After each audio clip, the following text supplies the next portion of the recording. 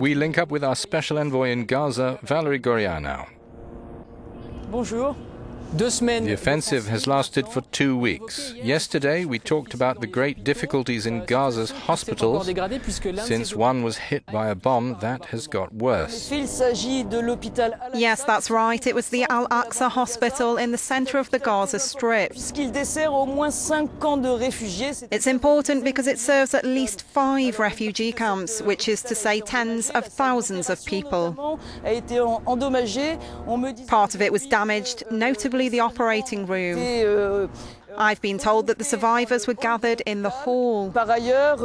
Furthermore, it seems that mortar fire today has been falling around the hospital area again.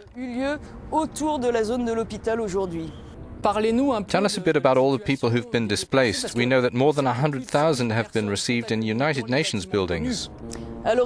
Well, the UN buildings are full. A lot of schools have been taken up by displaced people. There clearly isn't any more space. A lot of people also sought refuge in buildings in the centre of the city, and even there, they're not safe.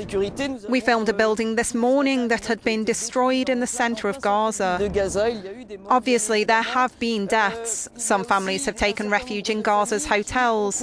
I met a lot of them myself going back to my hotel yesterday evening. Whole families are sharing a single room. You had a chance to talk with them?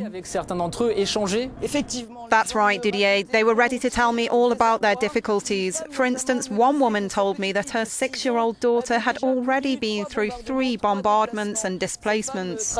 This woman worked in education and told me that children can't go on growing up like this, that they're losing out on their future, that all this should stop since, in her eyes, none of it makes sense.